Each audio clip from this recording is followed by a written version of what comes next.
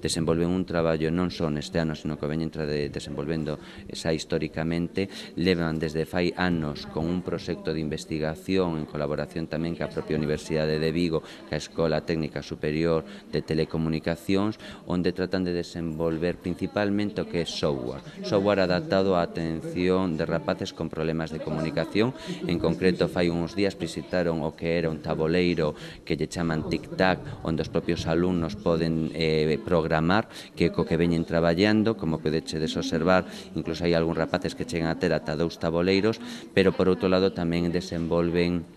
digamos, a adaptación de hardware o que é os problemas de comunicación dos rapaces para así poder atender as necesidades. E ademais ten un centro, dentro deste centro de educación especial, hai un centro, digamos, eh, de educación eh, ou de referencia eh, de recursos educativos eh, concreto en logopedia en eh, linguaxe, non? E que presta tamén apoio aos outros centros de educación especial e non de educación especial que así o demanden.